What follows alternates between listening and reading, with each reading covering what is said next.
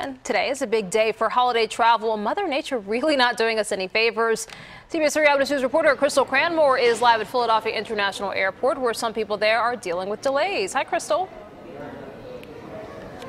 Good morning, Rahel. Well, as expected, anxiety is a little high here at the Philadelphia International Airport because instead of being home with loved ones, there are people here waiting on their flights now. Flights have been delayed all morning, as you can see behind me. According to FlightAware, a flight tracking service, there are about 14,000 delays nationwide. At last check, Philadelphia International Airport had 79 delays and seven cancellations.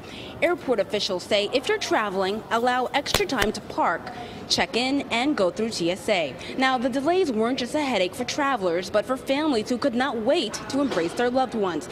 Here's video that we just shot moments ago of military military men and women returning home. Now, we talked to one family who was waiting for their granddaughter to arrive. She's training to become a military police officer. Just so emotional. I just can't wait to see her. She's been in our life forever, and just seeing her on Facebook and everything now that Fort Leonard Wood does, it's very, very uh, uh, I don't know, getting emotional again. But seeing all these other families here too as well, you know, just the anticipation.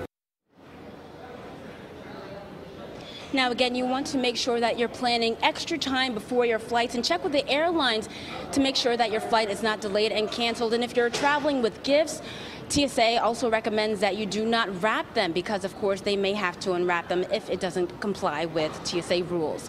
We're at PHL tonight. Crystal Cranmore, CBS 3 Eyewitness News. A lot of emotional reunions there. Crystal, thank you.